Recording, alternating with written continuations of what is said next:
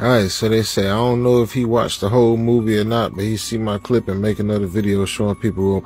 All right, so um, in Chucky, Chucky was a white man, and the white man was learning voodoo from a black man. So, my point of me making my video was that why would the movie showing you that they stealing the black stuff to put in the movie. Like that's what the, the whole movie showing you right up front is that the white man stole the black culture and turned around and made Chucky out. Like they telling you, they telling you right in the movie what they doing. Then they proceed to do what they told you with all the different Chucky movies. All right. So the witch doctor was in the first movie. But I never remember seeing a witch doctor in any of the other movies because Chucky killed him. He stole his stuff, his culture, and then he killed him afterwards. All right. Because he got mad, the black man got mad. So are you gonna get mad that I stole from you? So he killed them after that, right?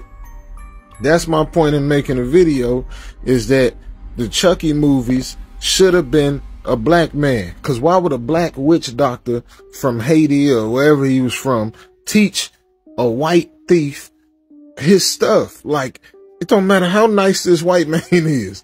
He's, they not finna just teach you they stuff like that.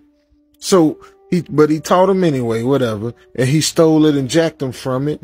And Chucky been running loose all since. Now, I, I, I think Chucky should have been a black man or a black woman. The movie would have made most sense because the whole voodoo doll thing, the whole doll coming to life thing, that's part of the voodoo culture, not part of no American white culture. So this whole thing, you know, that uh, we voodoo dolls come from black people, right? Right? Europeans didn't make voodoo dolls. So that's my point is if you're going to jack somebody culture, give them the credit for it.